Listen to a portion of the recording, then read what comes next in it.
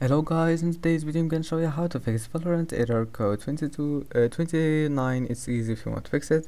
First click here and then type uh, services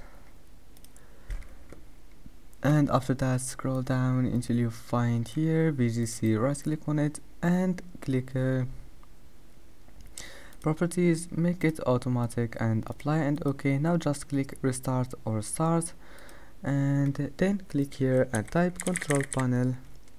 And after that go to network and sharing center.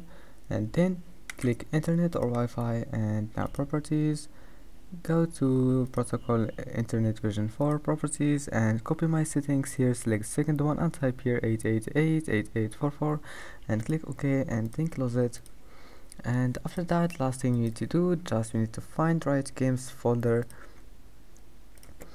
and uh, after that click Riot Games Valorant live shooter game win binaries win64 scroll down here we'll find Valorant win64 shipping right click on it. Properties compatibility and here enable those three options. Uh, just uh, check those three options here and make it for Windows 8 apply and OK and that's it, I hope that's gonna help you, don't forget to like and subscribe and see you in the next video.